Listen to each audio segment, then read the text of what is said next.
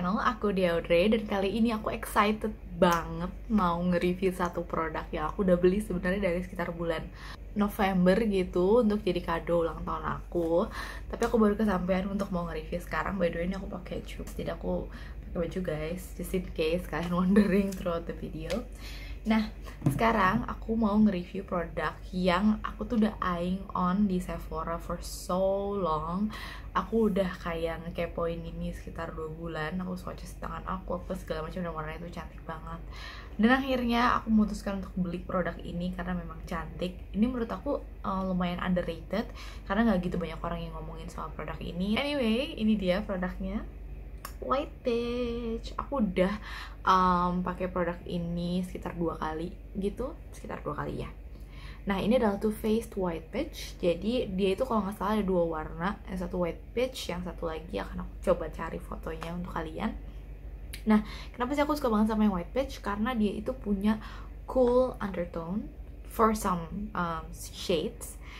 Tuh cantik banget kan Nah, to be honest, produk ini memang gak murah untuk sebuah eyeshadow palette, tapi packagingnya tuh cantik dan kelihatan tebel, luxurious. Jadi aku menurut aku sebenarnya worth it in packaging wise. Kacanya juga gede banget. Kalau misalkan kalian nggak bawa kaca, ya ini bukan sebuah produk yang bisa dibawa ke mana-mana juga karena memang produknya kan gede dan berat. Anyway, sekarang aku mau tutorial produk ini di depan kalian sekaligus review juga aku belum pernah swatch semua produknya. Karena waktu itu aku ke Palang mau jalan-jalan terus gak ada eyeshadow palette yang ketemu ini jadi aku langsung pakein.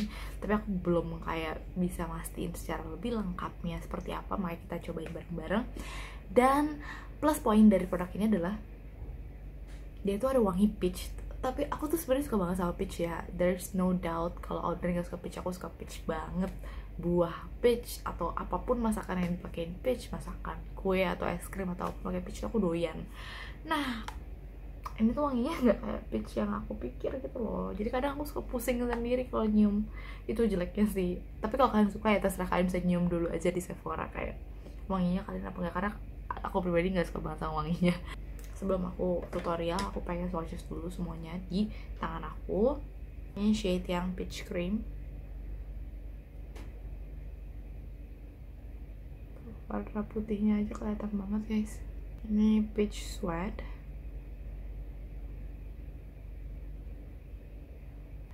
peaches and dreams. Wow. Cantik banget. Cream de la peach.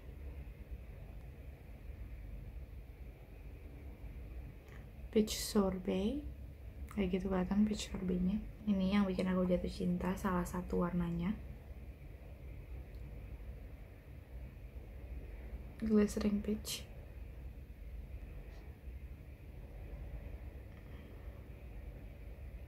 ini yang warna peach smoothie ini yang halus banget. Karena sweet fig.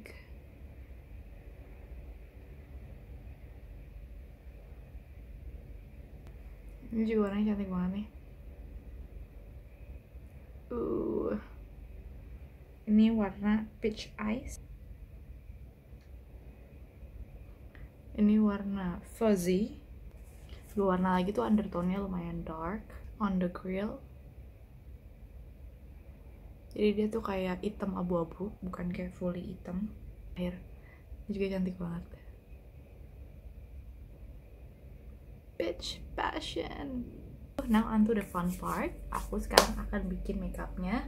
Pertama aku bakalan pakai peach cream ke seluruh eyelid aku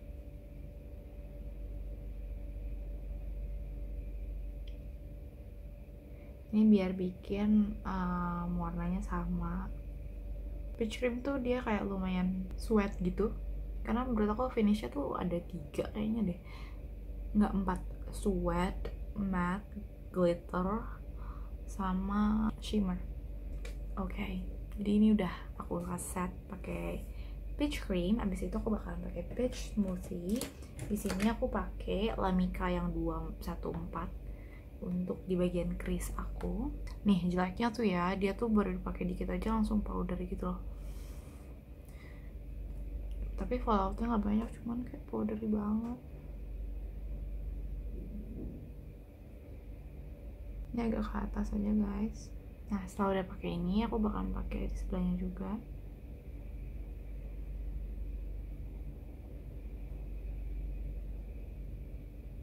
setelah itu setelah ini udah semua nih aku bakalan pakai yang sweet fig untuk di bagian transisinya. Jadi kita ngeblend aja. Ya warnanya di tangan pas swatches bagus tapi kalau pas di sini kenapa jadi kayak washed out gitu ya? Ini kayak agak sedikit ke bawah tapi sambil ngeblend si smoothie-nya.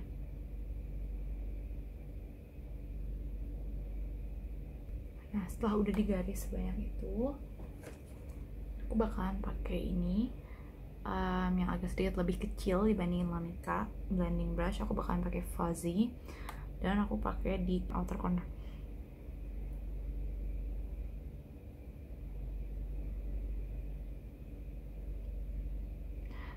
Ah nggak keluar warnanya. Kita ganti warna. On the grill. Udah pasti keluar nggak sih? Kita pakai on the grill di luar dikit-dikit aja karena kita nggak tahu falloutnya kan sebanyak apa. Sambil ditarik ke dalam. Fuzzy-nya nggak keluar bete banget sih.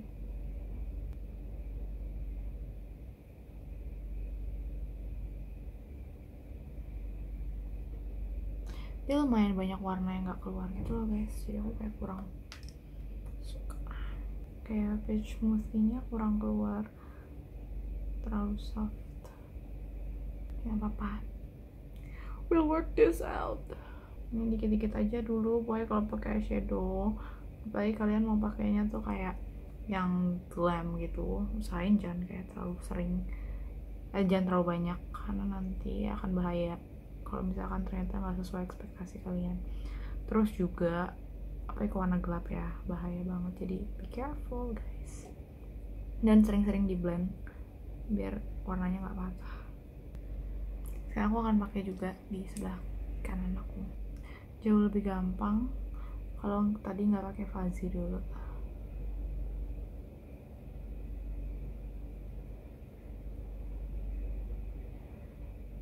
Nah, cuman hitamnya tuh kan dia bukan hitam banget, jadi pada saat di blend langsung kayak hilang gitu warnanya. Tetap cantik, cuman kayak langsung hilang. Nah, saran aku kalau kalian pakai eyeshadow, kalau matanya kecil itu jangan ditarik ke samping, jadi kayak segini aja. Supaya dia fokusnya di mata kalian biar jadi lebih dalam. Kalau kalian ke sampingnya nanti jadi lebih panjang matanya. Jadi kayak kurang kebuka gitu. Nah setelah udah jadi nih kiri kanannya sama, aku bakalan pakai yang Peach Passion di bagian mata aku yang sebelah sini. Hmm, falloutnya banyak. Oke, kayaknya pakai brush tuh jadi nggak cantik. Aku akan pakai tangan aja. Nah, pakai tangan tuh jauh lebih kelihatan warnanya dulu tuh ya aku tuh sebenarnya pengen banget punya Too Faced yang uh, chocolate palette chocolate bar kalau nggak salah cuman dulu tuh ya ampun masuk Sephora tuh cuman buat nyobain doang sih nggak pernah kepikiran buat beli karena mahal banget kan barang-barang di Sephora akhirnya puji Tuhan sekarang pas udah bisa beli makeup jadi lebih wise lagi um, beli makeupnya. Falloutnya lebih dikit kalau pakai tangan kalau pakai brush tadi jatuh-jatuh. Tapi ini bagus banget sih warna yang peach passionnya. Ini warnanya lumayan ngebantu sih. Sekarang aku akan blend lagi biar nggak kayak empuk gitu. Dia tuh warnanya kalau di kamera nggak kelihatan gitu tapi kalau dilihat langsung kelihatan kan. Falloutnya banyak banget kesel. Asli dah kayaknya kita harus hapus dulu ah, makeupnya. Oke okay guys, karena aku stres banget, jadi aku akan hapus makeup aku. Ini kalau pakai eyeshadow jangan pakai foundation dulu sih sebenarnya guys. Karena ya seperti inilah yang terjadi. Oke okay. karena kita udah rela untuk menghapus makeup sekarang aku akan um, lanjutin lagi apalagi yang kurang ya. Aku akan coba pakai di under eye mudah-mudahan gak fail. Aku akan coba pakai yang peach peach peach passion peach passion ke bawah mata aku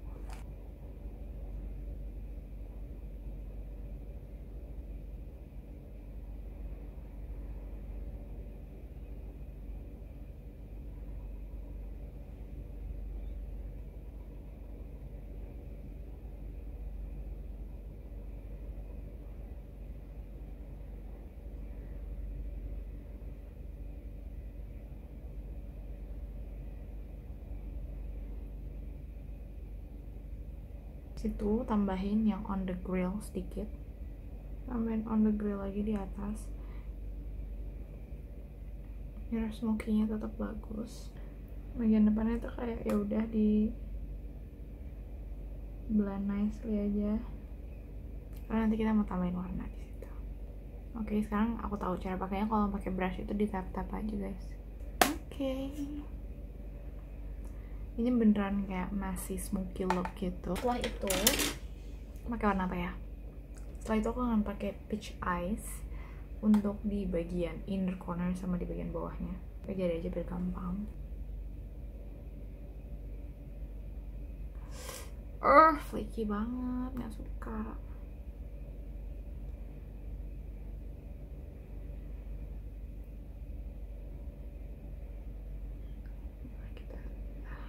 smoothen out pelan-pelan oh my god I am trying. Okay I am trying I am trying.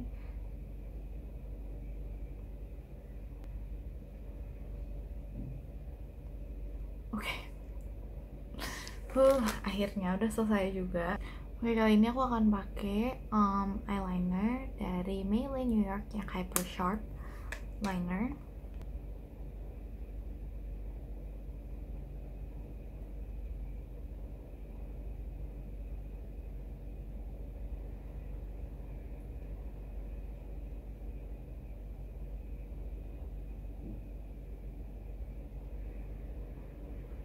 aku tuh sebenarnya kayak masih fix feeling sih sama bagian bawah matanya. Kayak kurang cantik gitu loh. Karena emang rambut aku hari ini tuh masih juga jadi kayak pas gitu. Habis itu ini setelah ini kering aku akan pakai bulu mata palsu. L Absolu 2113 Artisan buat di bulu mata aku. Habis itu aku akan pakai Total Temptation. Dibantu dengan Shu Yumura. Ini all time favorite-nya orang-orang untuk bulu mata. And we'll see Oke okay, beauties, jadi akhirnya aku udah rapihin ini aku blush on aku lagi.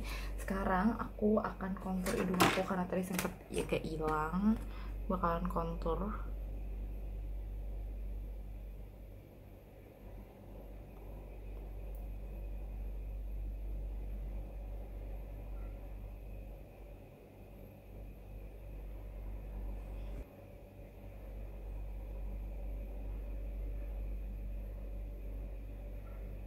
aku akan keep my makeup matte biar fokusnya tetap di mukanya.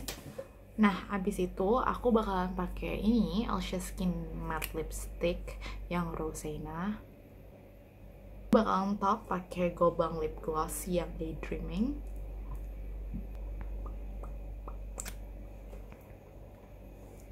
Tada, ini dia hasil looknya